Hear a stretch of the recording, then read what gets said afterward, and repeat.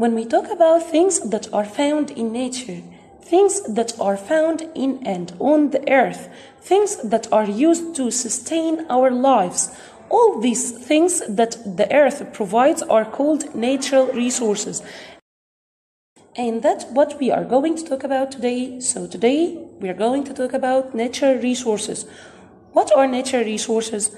They are anything in nature that people can use, anything in nature that people can use. Things that Allah created for us to be used. So, what the meaning of natural resources?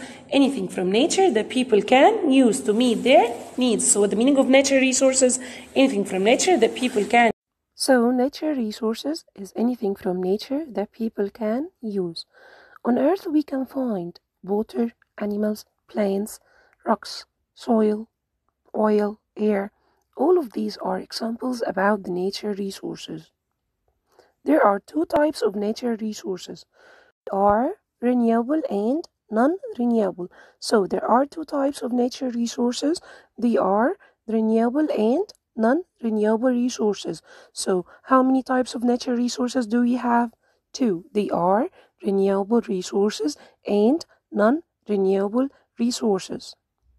A renewable resource is a natural resource that can be replaced easily, can be replaced easily within a human lifespan, which means that it takes a short time to renew again, like water, plants, or animals. So, renewable take a short time to be replaced if it finished. It means if it finished, it takes a short time to be replaced again, while non-renewable resources take a very, very, very long time to be replaced again. So, the renewable resources take a short time to be replaced. If it finished, it takes a short time to be replaced again, while a non-renewable resources take a very, very, very long time to be replaced again. So, what the meaning of renewable natural resources? It's a resources that can be replaced easily, can be replaced easily, can be replaced easily. So, what the meaning of renewable natural resources? It's a resources that can be replaced easily. So, the renewable resources, it's a something comes from nature that can be replaced easily, which means that it takes a short time to be renewed, like trees. Trees are a renewable resources and we use it to make a paper or pencils. So we use trees to make papers or pencils. Okay, what about the non-renewable resources?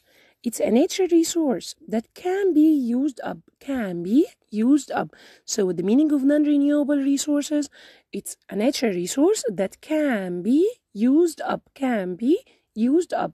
It means that it can be finished and it takes a very, very, very, very, very long time to be placed again, like oil, coal, and natural gas, which are examples for non-renewable resources. So the meaning of non-renewable resources, it's a resources that can be used up, can be used up. So what the meaning of non-renewable resources, it's a nature resource that can be used up, can be used up like oil, coal, and natural gas. Oil, coal, and natural gas.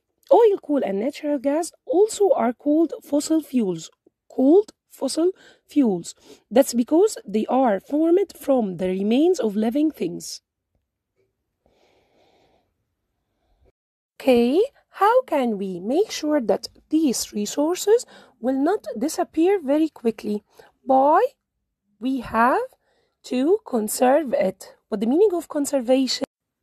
Saving resources by using them wisely. Saving resources by using them wisely. So the meaning of conservation, saving resources by using them wisely, which is use less of resources. We can help conserving the nature by remembering the three R's. They are reduce, reuse, and recycle. Reduce, reuse, and recycle. What the meaning of reduce? Use less of something. Use less of something. What about reuse? To use something again. Use something again. Okay, what about the recycle? Use old resource to make new thing. use old resource to make new things